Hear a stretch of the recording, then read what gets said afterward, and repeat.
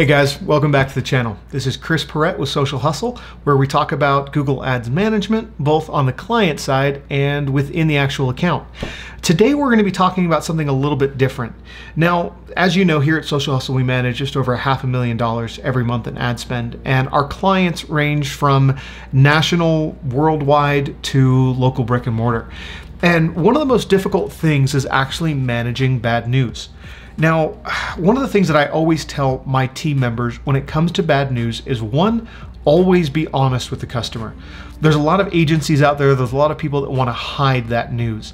Now, I'm thinking of a really specific example here that I want to go back to that was a defining moment in my career. I was working with a company called USA Kilts, and this company and the owner and I had become fairly good friends still, you know, we were still in a business relationship together. He was paying my agency that I was working at at the time to represent and to sell his products, but he and I got along really well. And one time I mismanaged his account and he had a total ad spend, well, I, I think it was about $2,000 a month. And that month I had made a mistake on my budgeting and I had spent an extra $500.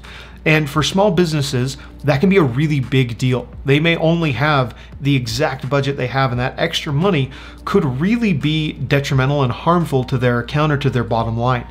And we got into that month end account, and I had been stressing it the whole time. I was really, really nervous on what was I gonna do. And I got into that call and, and I told him, and I said, hey, guys, I messed up right off the bat, I said, you know, we've, we've had a good month, here are the numbers, but I have to tell you, I made a mistake here's what happened, here's how it happened, and here's how I'm going to make sure that it never happens again. And on that call, he said something to me, and, I, and it really stood out to me. He said, Chris, first off, I want to say thank you. Thank you for not lying to me. Thank you for owning up to the mistake. And I wanted to let you know I already knew about it. I already knew the mistake. And I was waiting to see if you were going to tell me. I was actually prepared to cancel our service not because the results weren't there not because I wasn't happy with the service, but because I need to be able to trust you. I trust you with my money and I trust you with my company to represent us, and I have to be able to trust you. And ever since that day, I have made just an earnest commitment that I will always be honest with my customers. Now, there's a good way and a bad way to deliver bad news. You know, back when I was delivering that news, I probably could have presented it in a little bit of a better way, but I just wanted to get off my chest. So the first thing, no matter what, tell them what happens. But what I have found, and the best way to deliver bad news, is to ensure that you understand effectively what the news is. Did conversion rate fall? Did cost per conversion fall? Did ROI fall? You know, what is it that happened? What's the metric that you are you are attaching to the fact that this is bad news? How can you frame and really tell the customer what happened and what the result was. One of the biggest things that I found when I'm approaching month end reporting and I have a bad month is I need to understand why did it happen most business owners really don't care too much that bad news happened. They want to know how does it impact me? How does it apply to my industry? What's going on that is changing my company or the scene that I'm in that caused the bad news? So when you're going into a month-end report, or you're going into a client report, or your client has concerns, it's your job to do the research to understand what caused that, to be able to explain it to your customer, to your partner, and then to understand how you're going to rectify it. I tell every single one of our employees, guys, never go into a meeting with bad news without a plan. You have to have a plan of action. The first point of the plan of action should be the explanation behind the problem. The second should be offering to allow the client to ask questions. It's a huge part here. Let the client ask questions. Make sure that they don't have any questions. The third part is your remediation plan. What have you done and what are you doing? One of the most important things that we do is that when we go to a meeting with bad news, we're telling them this is what we've done to rectify it. Don't present the plan to them. Don't tell them what you're going to do. Tell them what your team has already done to start fixing the problem because then it's already underway. You're already in the process of making it better bad news doesn't have to be this detrimental, you know, it doesn't have to end the relationship with the client. It can be a good opportunity to review what's occurred and then to discuss a new approach.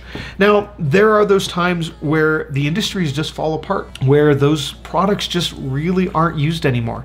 Take, for example, if you were marketing pocket protectors, you know, say, for example, that that was your market and the industry is just disappearing. I've had two clients in my past who we've had to recommend that they stop running Google Ads. Not that we just weren't able to do it, not that it was just a bad experience, but we actually had to recommend that their business model was expiring. It's a really hard conversation. But out of every conversation I've ever had where I've had to deliver less than pleasant news, those are the only two conversations I've ever had where I walked in without a plan, where I walked in without a way to fix it. If you're delivering bad news, if you're worried about dealing with a client and you have to give that message, just make sure that you're ready to walk them through how you're going to fix it. Make sure that you listen to their concerns and you explain to them exactly what's going on. And make sure that you own it. Make sure that you own what happens in the account because at the end of the day, it's your responsibility. If you do that, your customers will trust you more. They will come to rely on you and you'll be able to weather the lows just as well as you weather the highs together. Uh, again, I know this is a little bit of a different video. It's just something that was on my mind. I wanted to share a little bit of our approach to delivering news. Now, we're going to do another video later on, actually, and if it's done already, we'll link it above. Otherwise, it'll be down in the description once it's done. That talks about how I write a month end report.